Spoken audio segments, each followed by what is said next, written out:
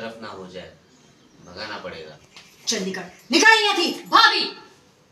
હાથ નહીં લગાડવાના તમને મેં પહેલા પણ કહ્યું છે ને કે મારી અને સાસુમાની વચ્ચે નહીં આવવાનું જો ભાભી હું તમને વિનંતી